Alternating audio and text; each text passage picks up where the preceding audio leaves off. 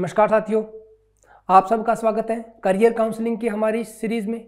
और career counselling की series को आगे बढ़ाते हुए आज हम मेडिकल लाइन से संबंधित डी फार्मा के बारे में आपको बताएँगे कि डी फार्मा क्या होता है, डी फार्मा के अंदर करियर कैसे बनाया जाए, इसके लिए एलिजिबिलिटी क्या रहती है, डी फार्मा करने के बाद अगर आप हायर एजुकेशन करना चाहें तो कौन सी हायर एजुकेशन कर सकते हैं आपके लिए स्कोप क्या है? तो उन सभी चीज़ों के बारे में हम आज यहाँ हमारे इस वीडियो में डिस्कस करेंगे। तो आइए शुरू करते हैं डी फार्मा के ऊपर हमारी ये करियर काउंसलिंग की वीडियो डी फार्मा देखो बच्चों डी फार्मा का मतलब होता है यहाँ आपको जो फार्मास्यूटिकल साइंस होती है।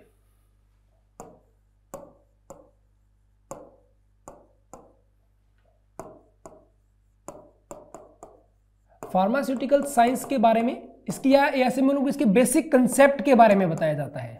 अब बात आती है सर ये फार्मास्यूटिकल साइंस होती क्या है फार्मास्यूटिकल साइंस इसका मतलब होता है तो दवाइयों का निर्माण या उनसे संबंधित जो भी विज्ञान होती है कि आप कैसे किसी टेबलेट का, कैसे किन्हीं दवाइयों का निर्माण कर सकते हैं तो उन सबसे संबंधित या उनसे संबंधित जो बेसिक कंसेप्ट होते हैं तो उन सब के बारे में आपको यहाँ पे जानकारी मिलती है कि कैसे आप दवाइयों का निर्माण कर सकते हैं। यानी कि डी फार्मा के अंदर हमें ये सब चीज़ें पढ़ाई जा सकती हैं। अच्छा ये तो बात आ गई इसके डी फार्मा की डी फार्मा होता क्या है? बच्चों, ये एक डिप्लोमा कोर्स होता है दो साल का।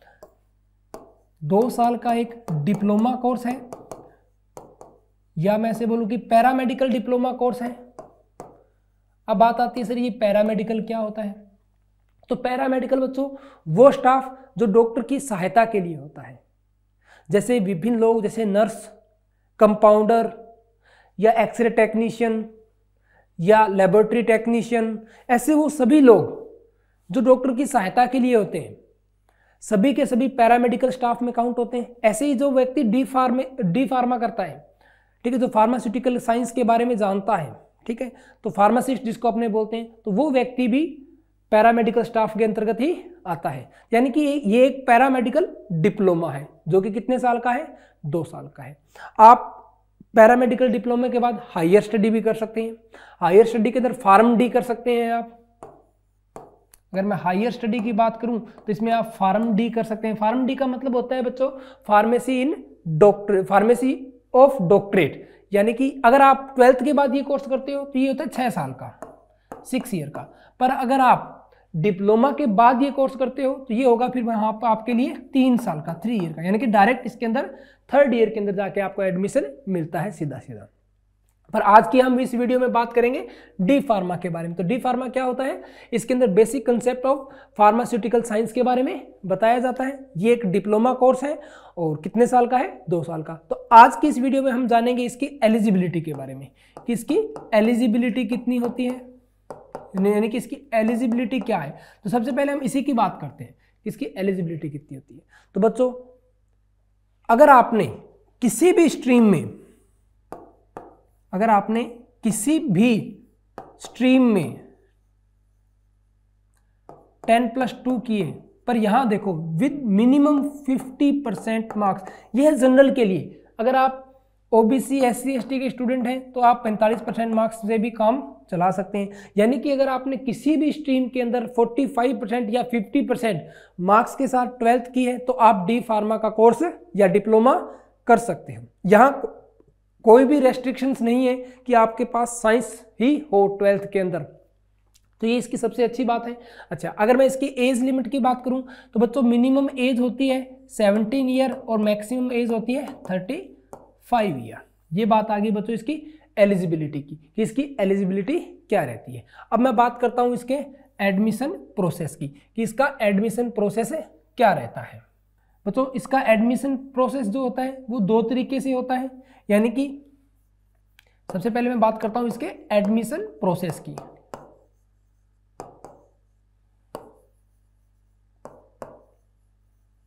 देखो बच्चों, इसके अंदर एडमिशन प्रोसेस जो होता है, वो डायरेक्ट मेरिट बेस पे भी होता है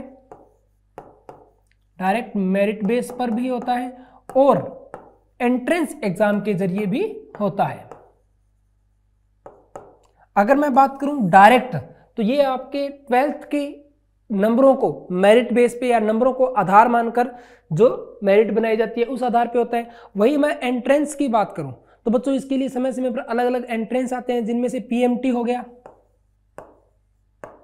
पीएमटी के थ्रू या पीएमईटी। पीएमटी के थ्रू या मैं से बोलूँ कि जेई के थ्रू ये कुछ इनके लिए क्या है?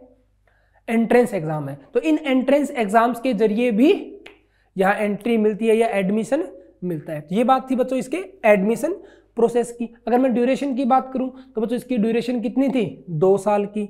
अच्छा इसके बाद अगर अपने बात करते हैं बच्चों, इसके अंदर फ़ीस स्ट्रक्चर की।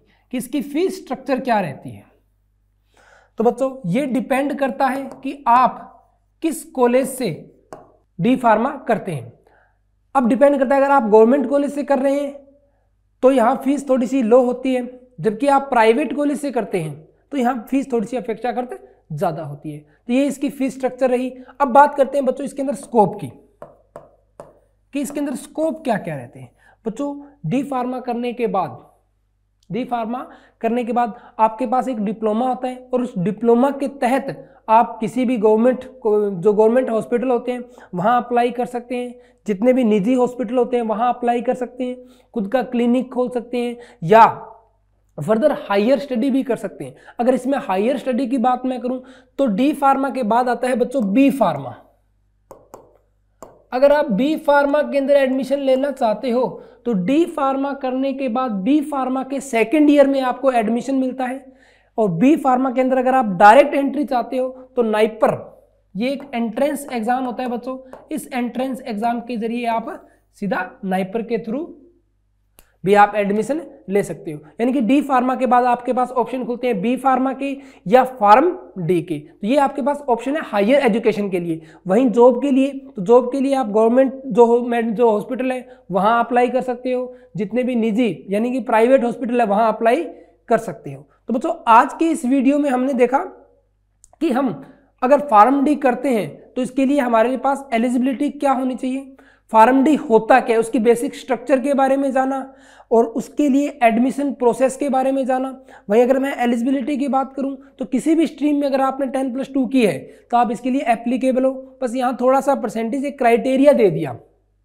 कि आपके कम से कम पचास प्रतिशत मार्क्स तो होने चाहिए, तभी आप फार्म डी या डी फार्मा कर सकते हो। ये था बच्चों आज इसका प्रोसेस या मैं से बात करूँ कि जो इसका स्कोप था तो स्कोप गवर्नमेंट और प्राइवेट दोनों फ़ील्ड के अंदर है और इसके अंदर आप आगे जाकर हायर स्टडीज़ भी कर सकते हैं।